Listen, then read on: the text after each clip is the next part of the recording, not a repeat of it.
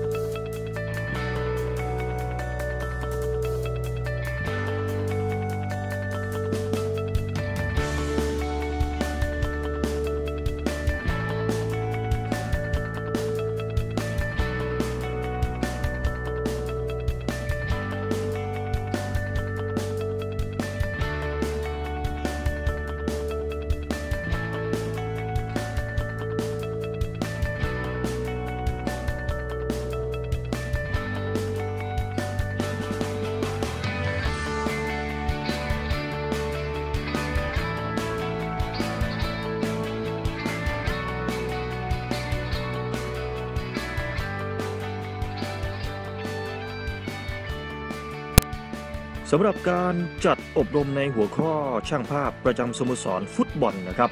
วันนี้ก็ถือว่าเป็นการจัดขึ้นอย่างเป็นทางการของสโมสรฟุตบอลเชียงใหม่นะครับ โดยมีผู้ที่ร่วมจัดก็คือบริษัท Canon Marketing Thailand จำกัดสาขาภาคเหนือนะครับ รวมไปถึงคณะสารสนเทศและการสื่อสาร มหาวิทยาลัยแม่โจ้นะครับ โดยน้องๆที่เข้าร่วมการอบรมในครั้งนี้เนี่ยก็มีมากมายถึง 15 คนเลยทีเดียวนะครับ ทุกคนล้วนแล้วแต่ก็มีความสนอกสนใจในเรื่องของการถ่ายภาพ โดยเฉพาะกีฬาฟุตบอลนะฮะถือว่ามีความมุ่งมั่นตั้งใจมากเลยทีเดียวนะครับ โดยมีช่างภาพประจำสโมสรฟุตบอลเชียงใหม่นะครับเป็นวิทยากรร่วมในวันนี้ด้วยนะครับ ก็มีหัวข้อต่างๆที่มาให้ความรู้ภาคทฤษฎีกับน้องๆในช่วงเช้าเนี่ยค่อนข้างจะมีความหลากหลายน่าสนใจมากเลยทีเดียวนะครับ ไม่ว่าจะเป็นในเรื่องของอา สโมสรฟุตบอลเชียงใหม่นั้น มีที่มาที่ไปอย่างไรนะครับ แล้วก็เทคนิคของการถ่ายภาพเนี่ยจะต้องทำอย่างไรบ้าง หรือว่ามีเคล็ดลับอย่างไรนะฮะในการที่จะถ่ายออกมาให้สวยงาม ตลอดจนเรื่องของการทำงานให้กับสโมสรฟุตบอลเชียงใหม่นะครับเรื่องของการเดินทางต่างๆ การปฏิบัติตัวนะฮะรวมไปถึงวิทยากรจากทางบริษัทแคนนอนด้วยนะฮะที่มาให้ความรู้เรื่องของอุปกรณ์การถ่ายภาพนะฮะว่า ลงไปถ่ายในสนามฟุตบอลเนี่ยต้องมีอะไรบ้าง แล้วก็มีผู้สื่อข่าวประจำสโมสรด้วยนะครับที่มาให้ความรู้เรื่องของการเลือกภาพที่ใช้ประกอบข่าวนะฮะก็หน้าตาคุ้นๆนะฮะก็ถือว่าบรรยากาศค่อนข้างจะเป็นกันเองนะฮะน้องๆถือว่ามุ่งมั่นมากเลยทีเดียวครับ กิจกรรมครั้งนี้ก็ยินดีเป็นอย่างยิ่งนะคะ ที่ทางแม่โจ้แล้วก็ทางเชียงใหม่ FC ได้เชิญทางแคนนอนเข้ามามีส่วนร่วมในการจัดกิจกรรมอบรมถ่ายภาพให้กับน้องๆในวันนี้นะคะ ทุกคนตั้งใจเรียนมาก วันนี้นะคะทางแคนนอนก็ได้มีกล้องมีเลนสำหรับการถ่ายภาพกีฬา โดยเฉพาะภาพกีฬาฟุตบอล ที่จะต้องอาศัยศักยภาพของกล้องนะคะใช้ฟังก์ชันต่างๆของกล้องให้ เกิดประสิทธิภาพมากที่สุด ไม่ว่าจะเป็นความเร็วหรือว่าเลนที่สามารถซูมในระยะไกลได้ อย่างเช่นระยะ 200 300 400 500แล้วขนมาให้น้องๆได้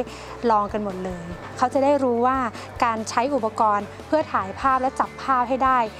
ภาพสวยๆจังหวะดีๆเนี่ยควรจะใช้อุปกรณ์อย่างไรคะเราอาจจะมีกิจกรรมต่อเนื่องไปอีก เกี่ยวกับการถ่ายภาพ อาจจะให้ทางแฟนบอลนะคะ ได้มาร่วมสนุกด้วยนอกจาก ทางช่างภาพที่เป็น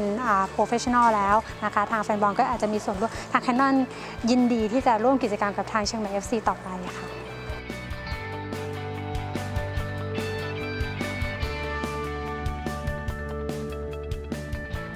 ครับก็ก็ต้องบอกว่าทางคณะมีความยินดีมากเลยนะครับ ที่เราได้ร่วมทั้งทางมืออาชีพเนาะก็คือทั้งทาง Canon ซึ่งมา support อุปกรณ์และทาง เชียงใหม่ FC ถึงให้เราได้มีประสบการณ์จริง ซึ่งมันมีความจำเป็นนะเพราะว่าเราเรียนในห้องเรียนเนี่ยเด็กไม่รู้วิธีแก้ปัญแก้ปัญหานะครับ แม้ว่าตอนนี้เราเราฝึกอบรมไปครึ่งวันนะผมว่าเด็กก็ยังงงอยู่ ว่าไปเจอสนามจริงแล้วเนี่ยจะทำตัวยังไงนะครับจากดูดูจากสายตาครับ แต่ว่าเมื่อเขาจบแล้วเราหวังว่าคำตอบทั้งหมดมันจะมันจะเคลียร์ครับแล้วเขาก็จะได้ประสบการณ์จริงๆออกไป นี่คือการสอนในแนวที่ควรจะเป็นในอนาคตนะครับ ก็คือ การร่วมมือระหว่างมหาวิทยาลัย กับหน่วยงานที่เป็นอาชีพ กับบริษัทและอะไรเงี้ยนะครับ เด็กจะได้ประสบการณ์ตรงรู้รู้วิธีการแก้ปัญหา สิ่งสำคัญคือไม่ใช่มีแค่ความรู้แต่ต้องแก้ปัญหาได้หลังจากจบภาคทฤษฎีในช่วงครึ่งเช้าแล้วนะฮะช่วงเวลาที่หลายคนรอคอยครับก็คือในช่วงเย็นนะฮะน้องๆทั้ง 15 คนนั้นก็ต้องเดินทางมาที่สนามกีฬาสมบูรณ์ชียงใหม่ 700 ปีนะครับเพื่อลงปฏิบัติงานในสนามจริงเลยนะฮะ ของเกมการแข่งขันระหว่างเชียงใหม่ FC พบกับระยอง FC นะฮะน้องๆทุกคนเนี่ยจะได้รับอุปกรณ์จากทางแคนนอนนะฮะแล้วก็ได้ลงไปถ่ายกันจริง ๆ เลยนะครับ ที่ข้างสนามเรียกว่าเกาะขอบหญ้ากันเลยนะครับ แล้วก็จะได้เห็นฝีมือของน้องๆแต่ละคนนะครับว่าภาพที่แต่ละคนถ่ายมานั้นเป็นอย่างไรบ้าง โดยจะต้องเลือกภาพที่ดีที่สุดของตัวเองมาคนละหนึ่งภาพนะให้กับทางเจ้าหน้าที่ทีมงานนั้นได้คัดเลือกต่อไปครับ เป็นสิ่งที่เขาเรียกอะไรอะเล้าใจแล้วก็เป็นเด็กที่เออได้มีโอกาสได้มาถ่ายรูปในครั้งนี้ แล้วก็ถ่ายในในแมตช์ที่ผมถือว่าทีมเราเล่นได้ค่อนข้างดีนะครับ แล้วก็เราถือว่าเป็นประสบการณ์ของเด็กๆนะครับที่ได้มามามาถ่ายรูป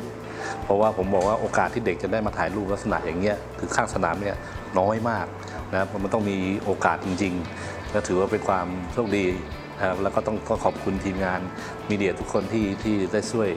ให้สอนเด็ก แล้วก็เด็กได้มีโอกาสนะครับ ก็หวังว่าโอกาสแบบนี้น่าจะมีอยู่อย่างเรื่อยๆนะครับครับ ค่ะชื่อเล่นชื่อตุ๊กตานะคะ ชื่อจริงก็สีลังนิยมค่ะ อยู่มหาวิทยาลัยแม่โจ้ค่ะ หนูสนใจในการเล่นกล้องหรืออะไรอยู่แล้วค่ะ หนูถึงได้เข้าคณะนี้นะคะ แล้วก็หนูชอบชอบชอบกีฬาค่ะ หนูก็รู้สึก ตื่นเต้นค่ะ เพราะว่าเราก็ไม่รู้ว่าเฮ้ยเราจะทำผิดหรือเปล่าในกฎของเขาอย่างเงี้ยแล้วเราก็เขาเรียกว่าไงแบบเก่งๆอะเพราะว่าเขาก็มีมืออาชีพของเขาอยู่แล้ว ไม่รู้ว่าไอสิ่งที่เราทำไปถ่ายไปมันจะผิดหรือมันจะถูก แต่ของสุดท้ายมันก็เป็นสไตล์ของเรา สวัสดีครับ ผมชื่อนายฤทธิเขตเอ็นตาเวลาครับ ชื่อเล่นชื่อสุดเขตครับ จากแมสคอมมชครับ มันต่างจากที่คิดไว้เยอะเลยครับ ด้วยอุปกรณ์ที่ทางแคนนอนเขาจัดมา แล้วก็ด้วยบรรยากาศ นักฟุตบอล แฟนบอลนะครับเสียงเพลงมันมามันก็ทำให้เราตื่นเต้นมีประมาทผมว่ามันเป็นบันไดก้าวแรกครับพี่ที่ทำให้เราแบบจะก้าวขึ้นไปอีกเรื่อยๆเรื่อยๆผมว่ากิจกรรมนี้เป็นกิจกรรมที่มันดีนะครับ ดีมากๆ เหมือนกับเปิดโอกาสให้กับเยาวชนหน้าใหม่เข้ามา คือมันเหมือนเรามอบโอกาสให้กับเยาวชน แล้วก็เยาวชนก็เหมือนตอบแทนให้กับสโมสรนะครับ มันได้ซึ่งกันและกัน